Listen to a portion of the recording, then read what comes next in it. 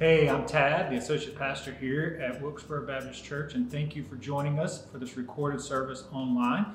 If you would like more information about our service times where you could come join us in person, you can see those at wilkesborobaptist.org or you can email us at info at wilkesborobaptist.org.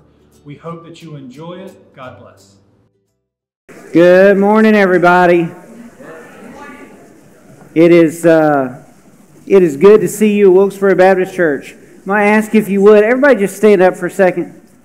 Stand up for a second. We got people still coming in. Maybe slide in a little bit so it's easier for those coming in to, to find a seat. Thank you for being here. I see a lot of guests with us. We're very glad that you're here worshiping with us today. We'd love for you to take the Tear tab in your bulletin and put your name and contact information on it.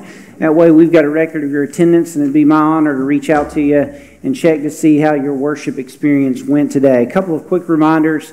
A week from today is uh, our monthly breakfast hosted by Baptist Men. Uh, I want to thank all of you guys uh, on Friday and Saturday for showing up and helping with the, the hallway, the ceiling tiles. A lot of work got done, and not all the way through with that, but thank you for coming out and helping with that. This upcoming Wednesday is a training for Awana, so there are no other activities other than Awana training this Wednesday. A week from this Wednesday, we'll kick back off with our regular fall programming on Wednesday nights with Awana and adult Bible study. A week from today is Move Up Sunday for our children's ministry. So if you're in elementary school, you will move up to your new class next Sunday. I'm sure many of you already know that, celebrated today. And you'll find in your worship guide uh, different women's ministry events and Bible studies that are also kicking off in the fall. And so you can find that information in your worship guide, see folks in the hallway. You can also register online. And as I keep reminding you, if you want to know what goes on in the life of our church, get a beacon, a weekly newsletter, and we'll do our best to tell you all that's going on in the life of the church.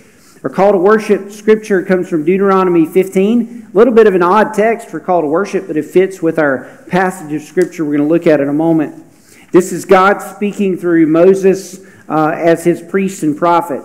Uh, it reads, I will raise up for them a prophet like you from among their brothers. I will put my words in his mouth, and he shall speak to them all that I command him. And whoever will not listen to my words that he shall speak in my name, I myself will require it of him. But the prophet who presumes to speak a word in my name that I have not commanded him to speak, or who speaks in the name of other gods, that same prophet shall die. If you say in your heart, How may we know that the word of the Lord has not spoken? When a prophet speaks in the name of the Lord, if the word does not come to pass or come true, that is a word that the Lord has not spoken. Then the prophet has spoken it presumptuously, and you need not be afraid of him. All God's people said, Amen. To God be the glory. Let's sing now of his faithfulness as we sing the song always.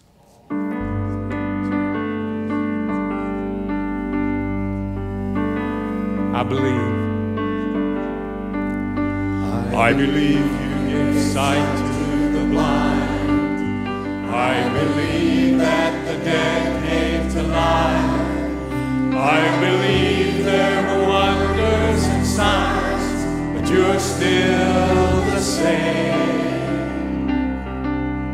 I believe every word that you said.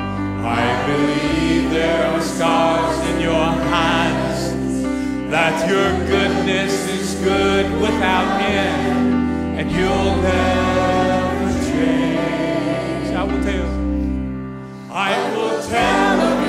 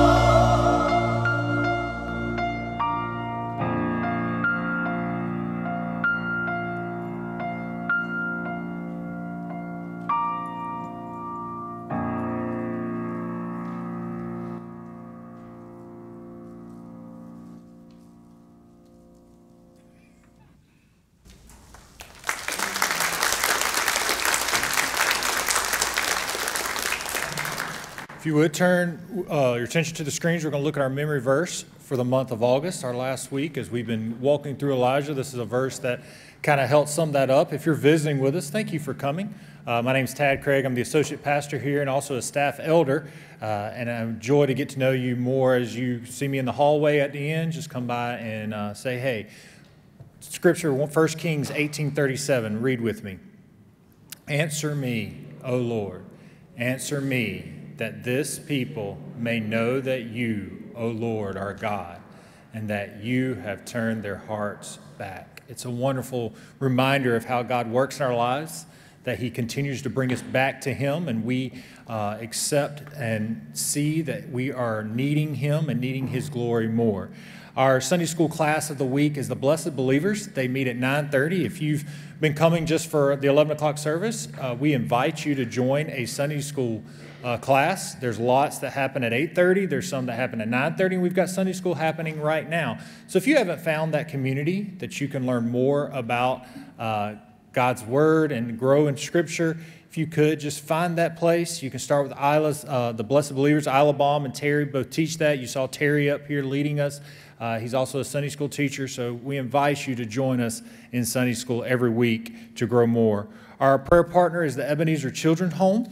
It's a wonderful partner. They help uh, kids that are in unfortunate events. Some have, uh, are looking for adoption through foster care.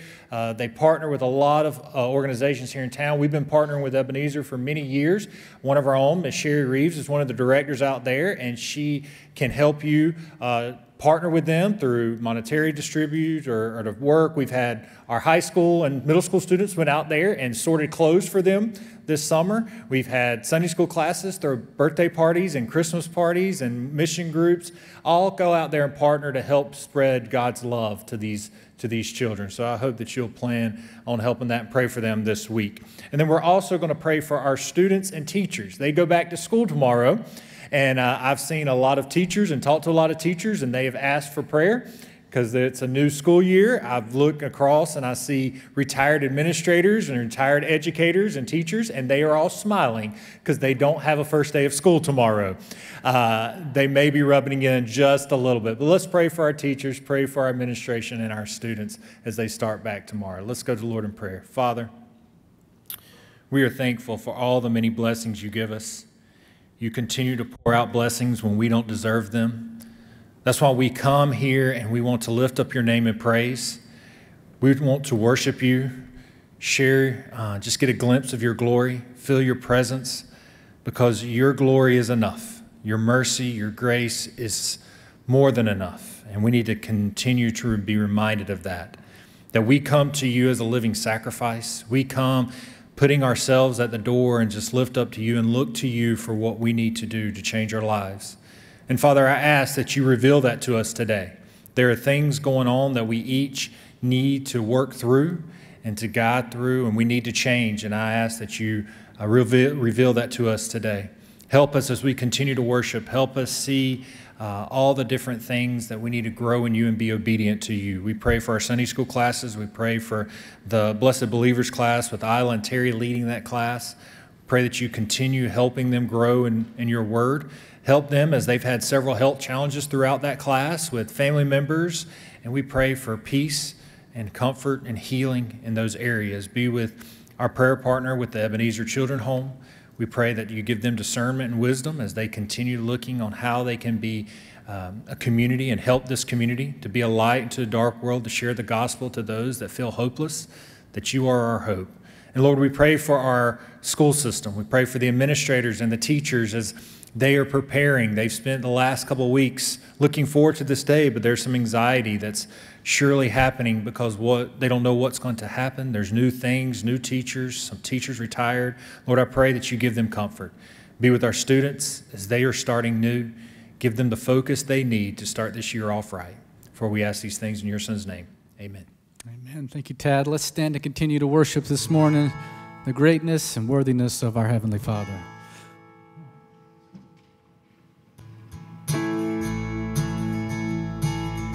Let's sing together. How great is our God?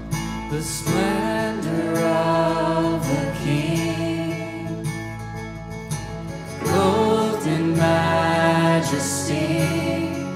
Let all the earth rejoice. Let all the earth rejoice. He wraps himself in light,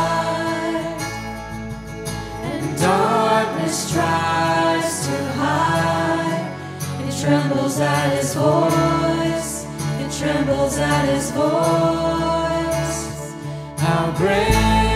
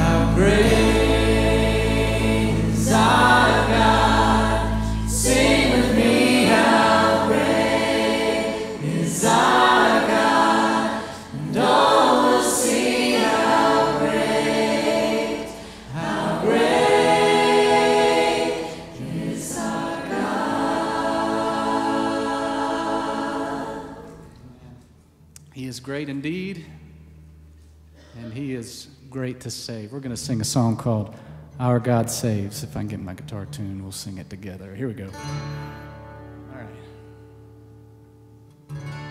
All right. Our God Saves. One, two, three, four.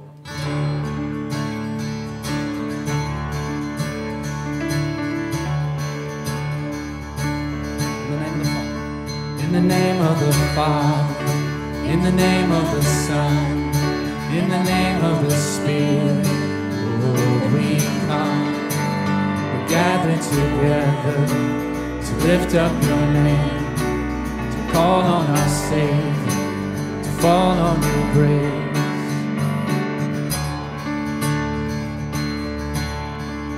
In the name of the Father, in the name of the Son, in the name of the Spirit, Lord, we come. We gather together to lift up your name, call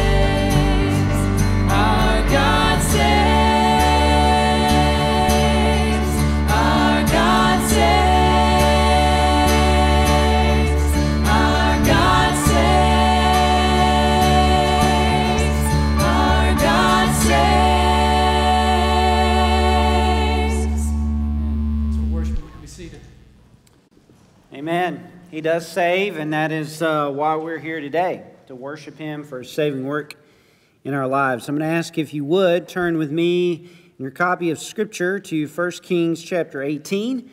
If you don't have a copy of the Bible, there should be one in the seat back in front of you.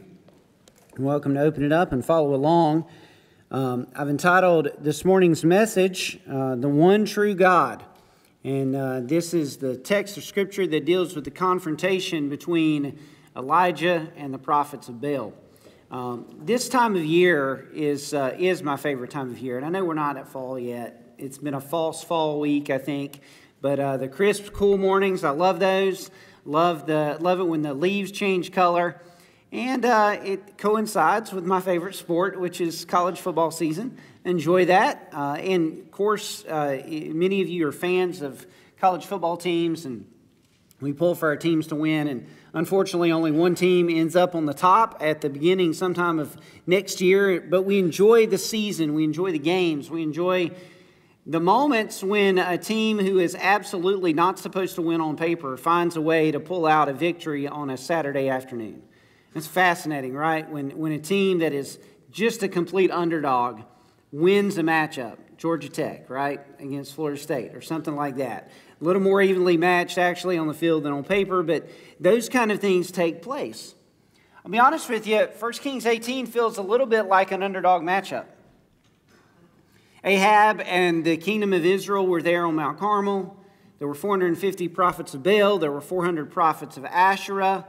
Uh, they were on uh, Mount Carmel, which is a place that was known for Baal worship. And then there was one prophet of God who spoke to the people there and said, Hey, let's have a contest, let's have a confrontation. It feels, if you read through the text in that scenario, it feels like Elijah was an underdog. But was he really? I mean, he was doing all this under the direction of God Himself. Because God orchestrated the events of this scenario to show that He alone is God. I want you to read with me uh, 1 Kings 18 20 through 40. And we're going to make three observations from this text uh, that point to the fact that our God the God is the one true God. So Ahab sent to all the people of Israel and gathered the prophets together at Mount Carmel. They came near to all the people, and uh, Elijah came near to all the people and said, How long will you go limping between two different opinions? If the Lord is God, follow him, but if Baal, then follow him. The people did not answer him a word. It's kind of fascinating. He gave him an option, and they were absolutely silent. Crickets. Then Elijah said to the people, I, even I only am left of the uh, prophet of the Lord, but Baal's prophets are 450 men.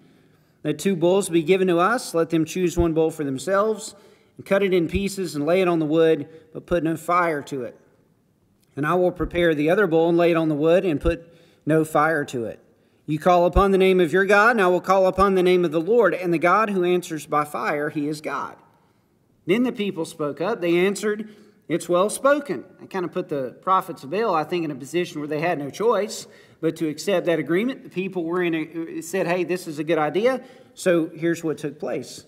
Then Elijah said to the prophets of Baal, verse 25, Choose for yourselves one bull and prepare it first, for you are many, and call upon the name of your God, but put no fire to it. So they took the bull that was given them, and they prepared it, and called upon the name of Baal from morning till noon. That's from 9 a.m. till 3, 3 9 a.m. until noon, that's three hours, saying, O Baal, answer us. But there was no voice, no one answered, and they limped around the altar that they had made. At noon, Elijah mocked them, saying, Cry aloud, for he is a God. Either he's musing or relieving himself, or he's on a journey, or perhaps he's asleep and must be awakened. They cried aloud and cut themselves after their custom with swords and lances until the blood gushed out upon them. As midday passed, they raved on until the time of the offering of the oblation, that's three o'clock. But there was no voice, no one answered, no one paid attention.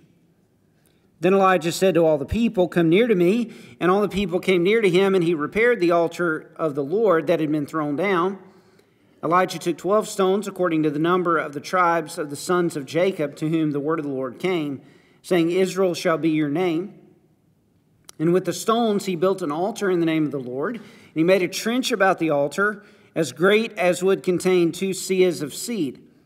He put the wood in order and cut the bull in pieces and laid it on the wood. And he said, Fill four jars with water and pour it on the burnt offering and on the wood. He said, Do it a second time. And they did it a second time. And he said, Do it a third time. And they did it a third time. The water ran around the altar and filled the trench also with water.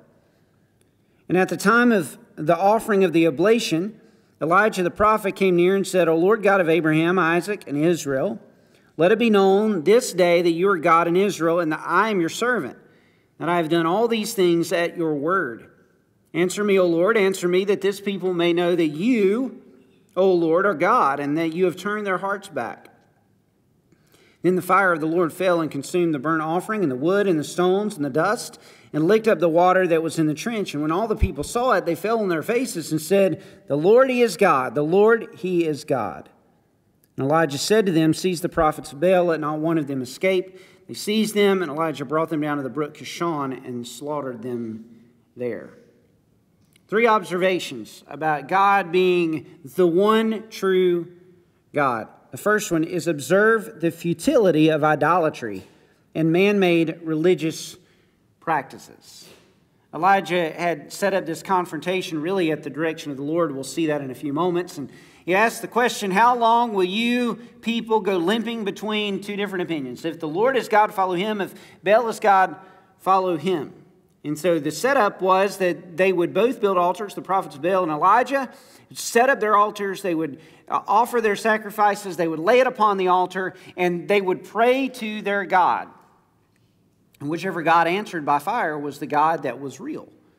And so the prophets of Baal did that. They set up their altar, they cut their, their sacrifice, and then they began their rituals of Baal worship.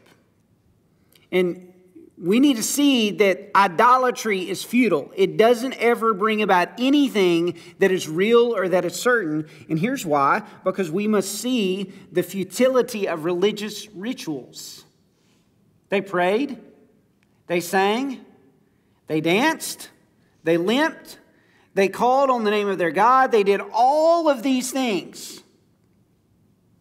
And nothing happened. Their practices were futile. And over and over again in the text, the reason their practices were futile is because there was no God to hear. Eh, there's no deity to pay attention to the voices of the Baal worshippers. Because the rituals only matter if there's a God to hear and see and observe the rituals. But there was no God to hear and see and observe the rituals, so nothing took place. Folks, we live in a, a day and age, a very pluralistic day and age.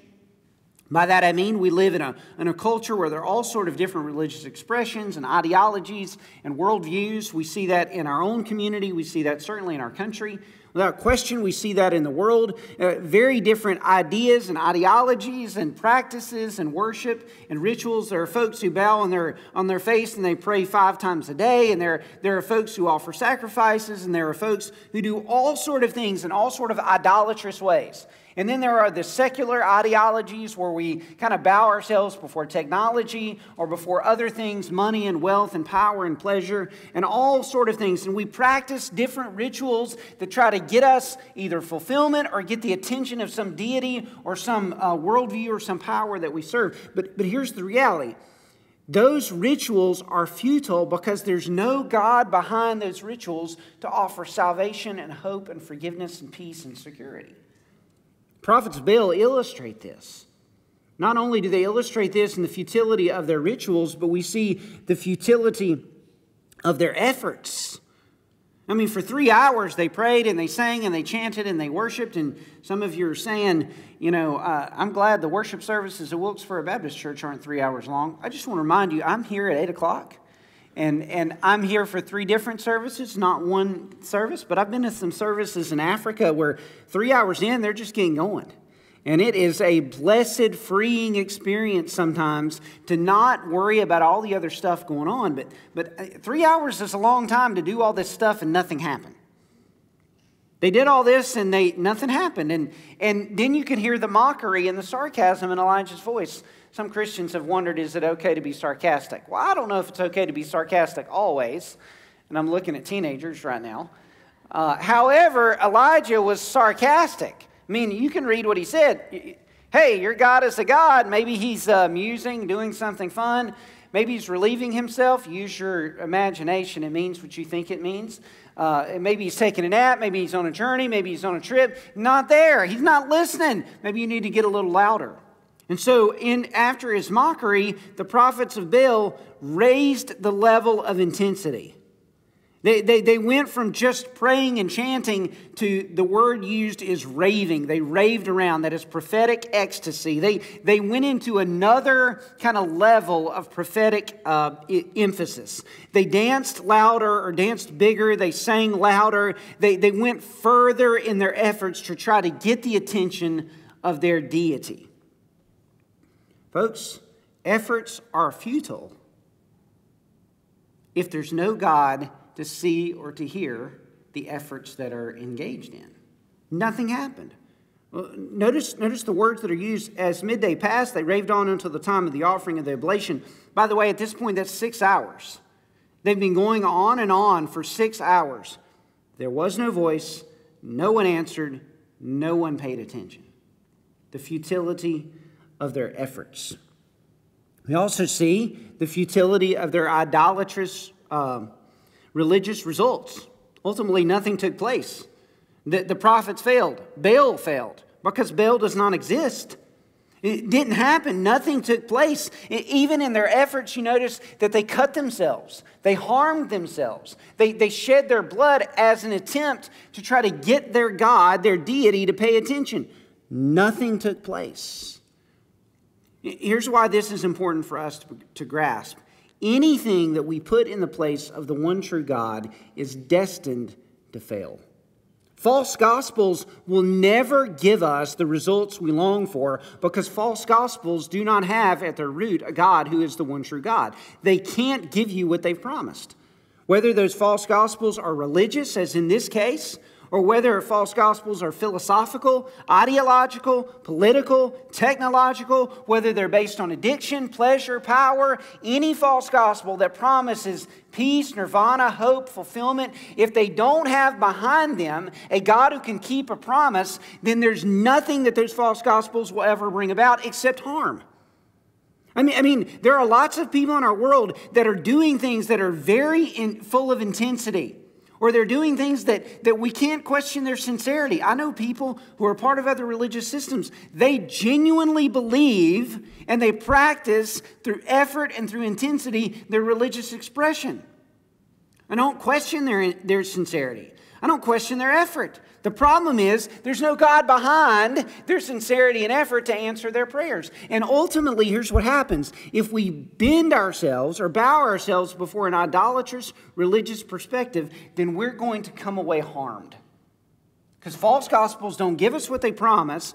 And ultimately, think about the prophets of Baal. They harmed themselves and nothing took place. Now, I, I don't think at Wilkesboro Baptist Church too many of us are in danger of bowing our knees to Baal or Asherah uh, in, the, in the coming weeks. Our, our temptations are not the, the false idols of days gone past. But we are in a culture that values technology sometimes to a, a to a, a, much too great degree. We think that sometimes technology will give us a measure of control over the world in which we live until some company or organization puts together an update that ends up closing down air travel for, you know, two days and, and locking down airports. And, and, you know, things like that remind us, I think helpfully, that we're not in charge.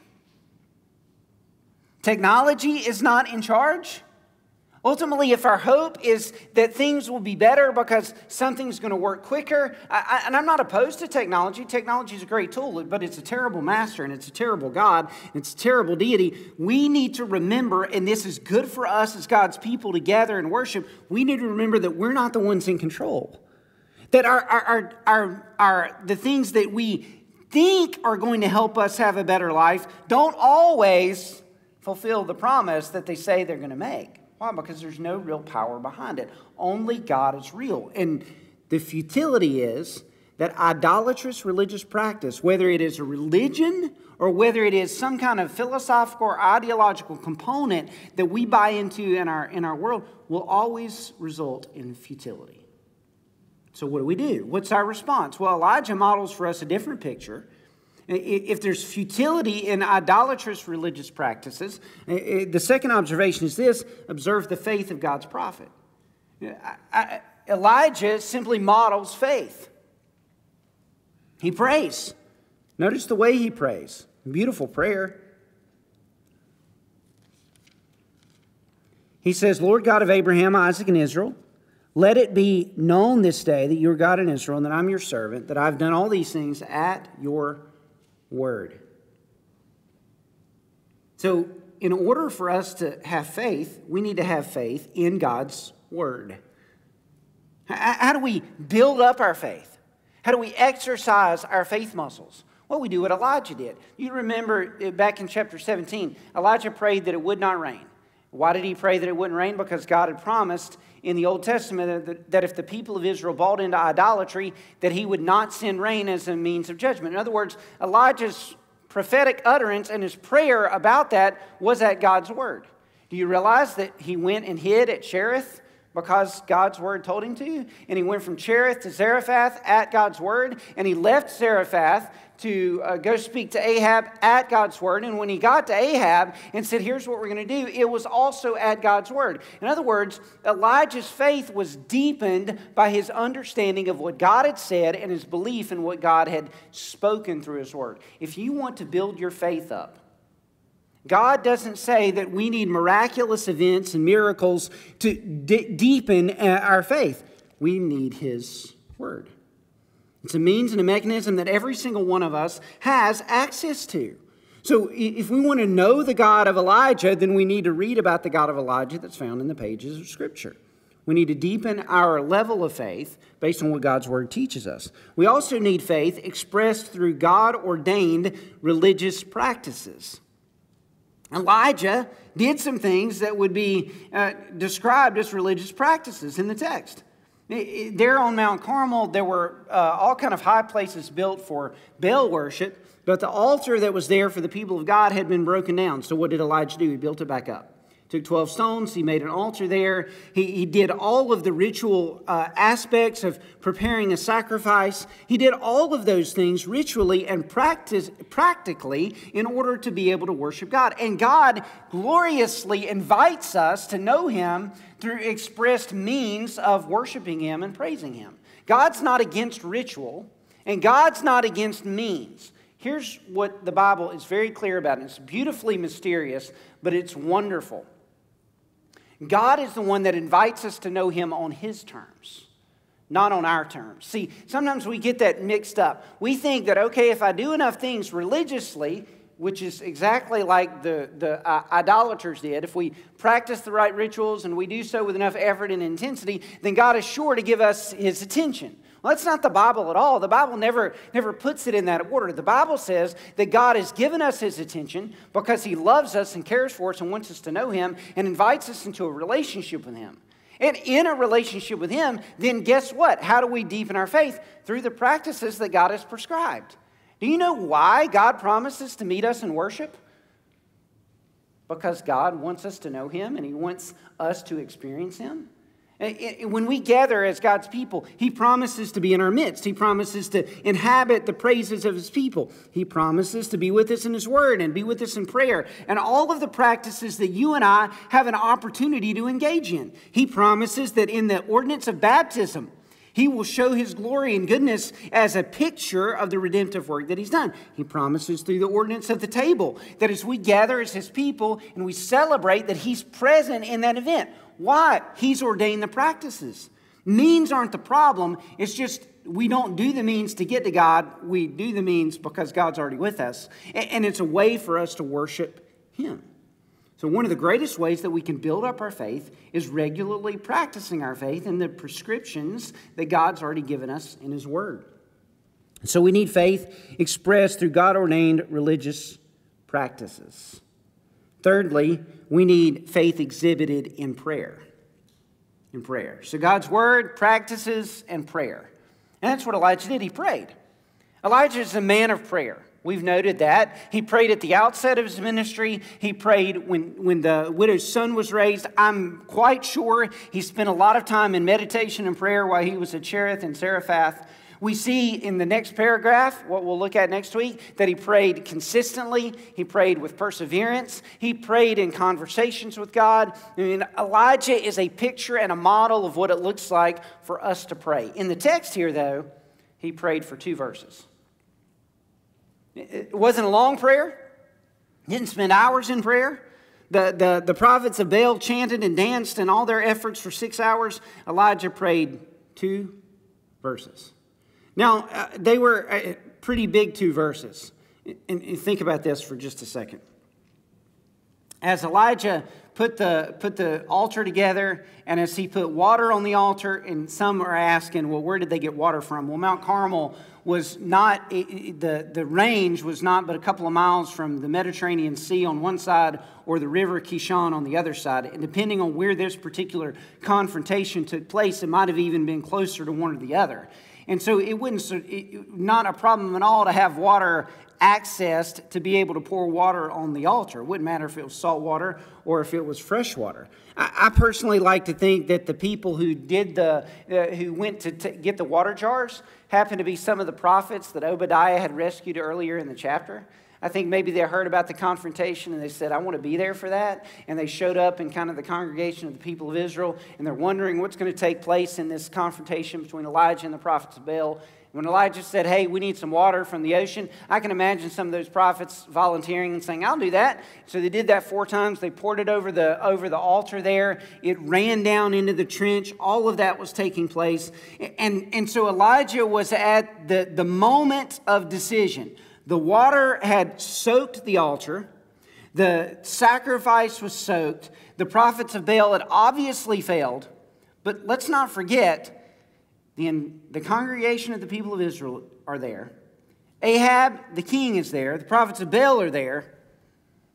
And there's one prophet, at least one pro- public prophet. There might have been others there supportive of Elijah. He's it. There's nobody else standing with him. He, he doesn't have an army behind, behind, beside him. He knows that if God doesn't come through in this moment, it's probably his neck on the line. I mean, there, there's no getting away from this contingent of folks. And so, what does he do? He prays Answer me, O Lord. Answer me that this people may know that you, O Lord, are God and that you have turned their hearts back. Simple, straightforward, maybe a little bit desperate, but certainly full of faith. Let say something to you, folks. The greatest way as a Christian we can exhibit our faith is in prayer. You know why that's the case? Because when we pray truly and when we pray underneath the authority of God, we're exhibiting our need. See, the hero of this story isn't Elijah. He prayed and he did, he did the stuff to get the altar together. But the hero of the story is God Himself, who, who rained down fire to uh, lick up the altar, to burn it down. That's the third observation that we see. Observe the faithfulness of the one true God. So we've got the faith of the prophet, the futility of the idol worshippers, and then we've got the faithfulness of God who really is. We know He is the one true God because He orchestrated the events of the confrontation. This was God's idea. Remember, I've done all these things at your word, Elijah said? This was God's plan. God's plan was to orchestrate this event to show that He is the one true God. And, and, and you know what God did? He did so in a way that truly shows His glory. Mount Carmel was a place where the prophets of Baal had worshiped Baal for years. This was a place that was known to them, it was a place where they regularly worshiped. It's as if God was saying, I'll go to your home field. You can have home field advantage. This is your home court. We will have the confrontation where everything sets up in your favor. And even the event itself, the confronting power, there's a relief in the ancient world that shows the God Baal holding a lightning bolt in very similar fashion to the way the Greek god Zeus is portrayed as holding a lightning bolt because he's the god of the storms. So even the confrontation is if Baal's really the god of the storms, You know, sending a lightning bolt down to, to, uh, to, to cause fire on a, an altar should not be that big of a deal for a God who controls the lightning. So the entire orchestration of the, of the setup and the confrontation was in God's mind on the home turf of Baal and his prophets. In their scenario, the best possibility that Baal could succeed. And crickets. No God answered because no God exists. What does that tell us about God? Well, one thing it tells us is that God doesn't have a handicap. There's no place that isn't a home field advantage to the one true God. We may think in our world that it looks like a lost cause, whether it's another part of the world. One of the reasons we pray for unreached people groups monthly at our church is because we don't believe they're out of the reach of the one true God. Because our God saves. And there is no limitation on his ability and location to save. Sometimes we think, man, we'll be, we'll be really safe if we're in a place that we're comfortable and we're controlled.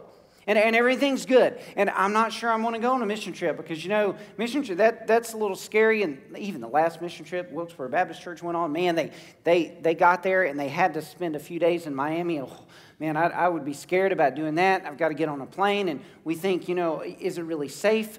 Let me tell you something God owns all of the places in our world. Home turf is whatever God has made. The point is that God saves and redeems and rescues wherever He chooses. He's the one who orchestrated the events uh, uh, of this entire confrontation and scenario. He's one that we can trust no matter what. There's no qualification on the place or the location of God's power and God's ability to rescue. We know that He is God because He orchestrated the events of this confrontation. We also know that He's God because He answered by fire. I love verse 38. It's one of my favorite verses in all of the Bible for about a thousand reasons. One, it's staggering. Listen to it. Then the fire of the Lord fell and consumed the burnt offering. Okay, consume the offering. If you go back in the in, in read your judges, you'll find that God's done this before. He's burned up an offering on an altar before. That, that's happened. But notice what else happens. He burned the wood, the stones, the dust, and licked up the water in the trench. In other words, at the end of Elijah's prayer, when God answered, there's a, there's a burnt piece of ground, on, and that's all that's left. Folks, wet wood doesn't burn. Doesn't happen. I've tried to do that before. You can put gasoline on wet wood, and gasoline burns, and the wood stays wet, and it doesn't go anywhere. There was nothing left. God answered by fire. But here's one of the reasons I love this verse because it is so matter of fact. This is one of the ways we know that God's word is true.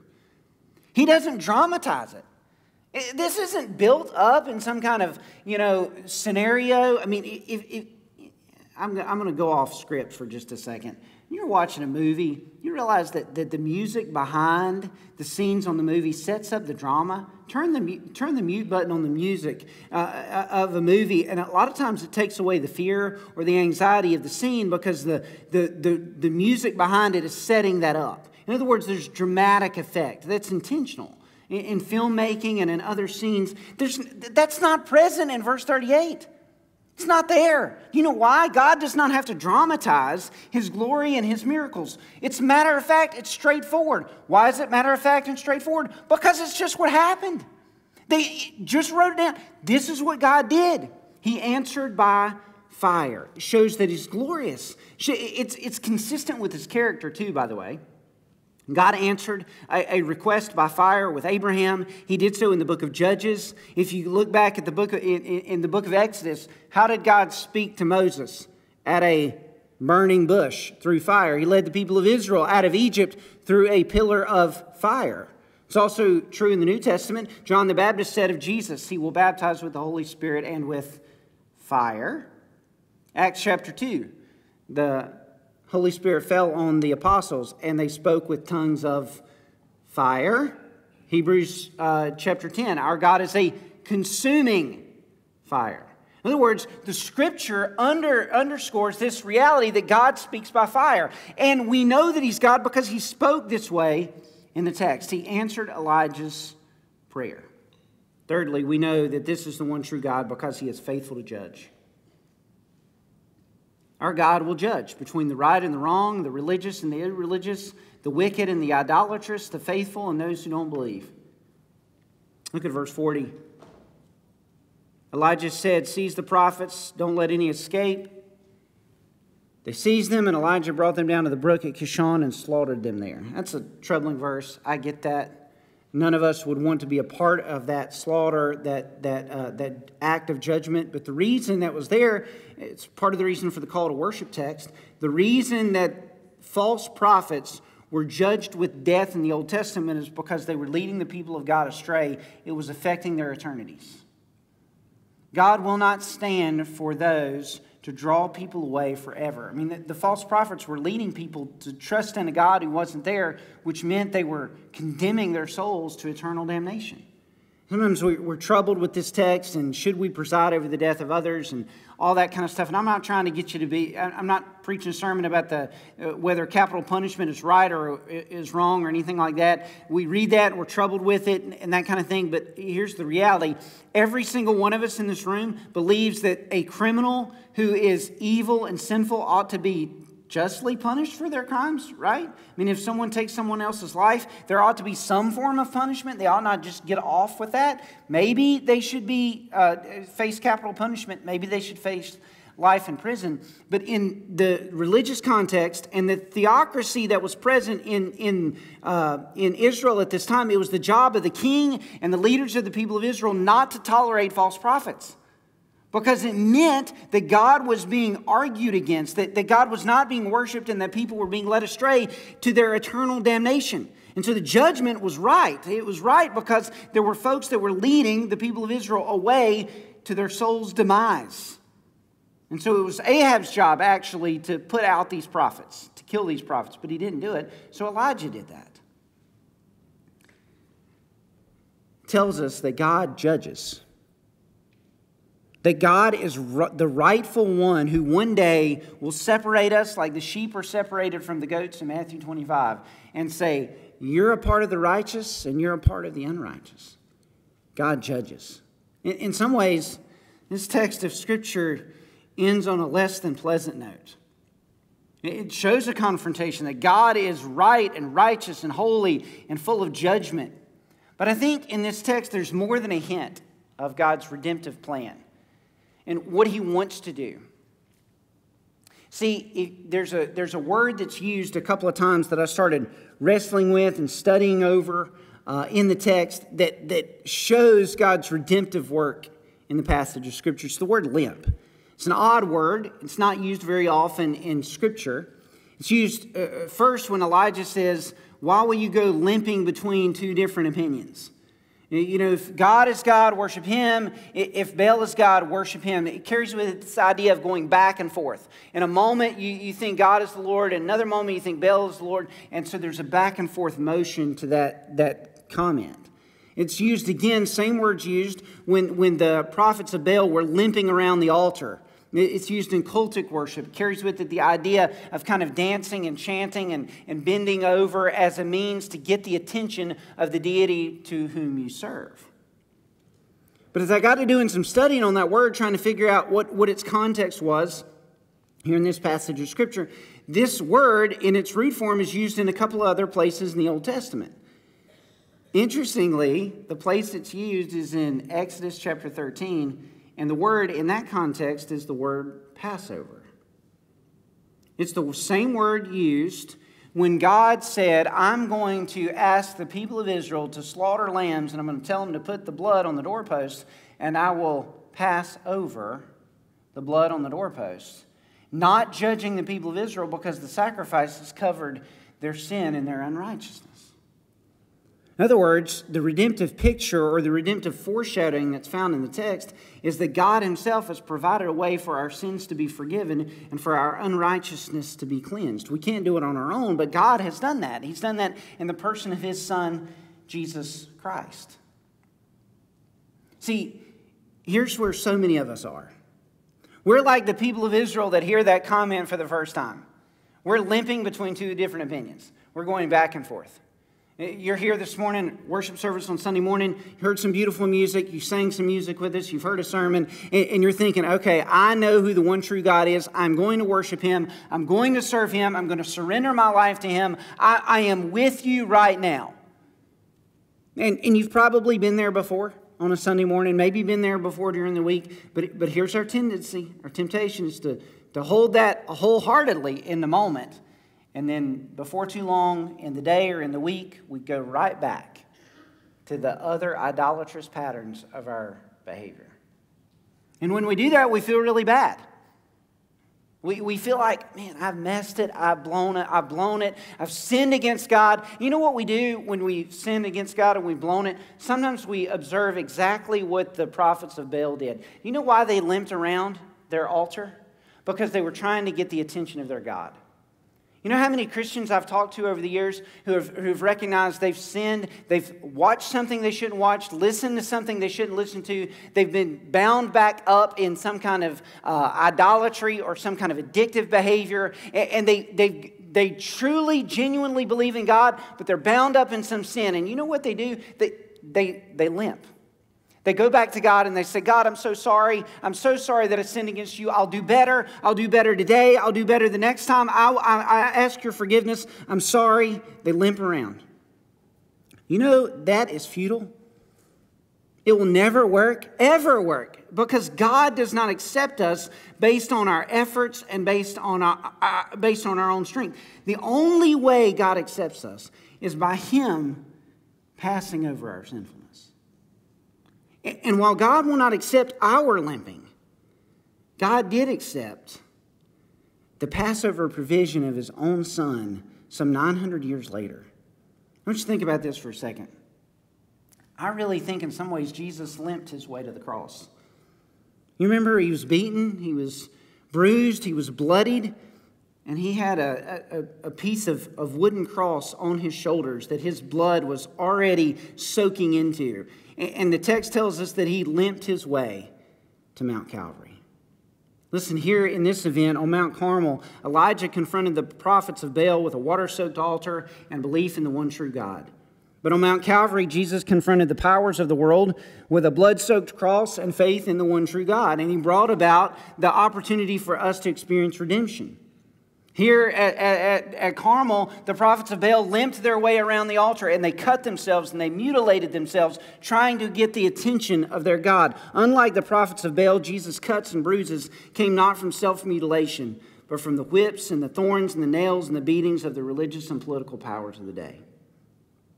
Unlike the prophets of Baal and unlike the waffling Israelites, Jesus' limping had nothing to do with indecision or, uh, or was about religious ritual. Rather, Jesus limping was exactly like the Passover in the book of Exodus.